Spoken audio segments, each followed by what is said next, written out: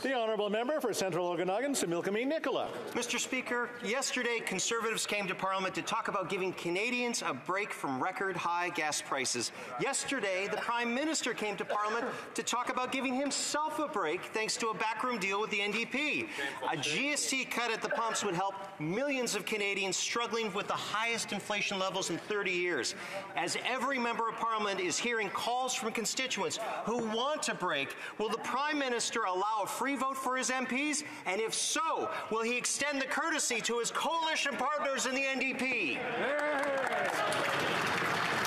The Honourable Minister of Tourism and Associate Minister of Finance. Thank you very much, Mr. Speaker. I thank the honourable member for his question. Mr. Speaker, I filled up at the pumps last week and I understand the situation that Canadians are facing. As my colleague knows, the rising of the prices at the pumps is due to the tragic situation unfolding in Ukraine.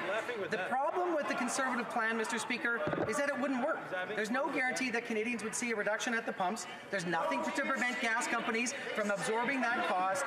While the other side is fighting amongst itself to pick a leader, we're going to focus on affordability for Canadians. The Honourable Member for Calgary.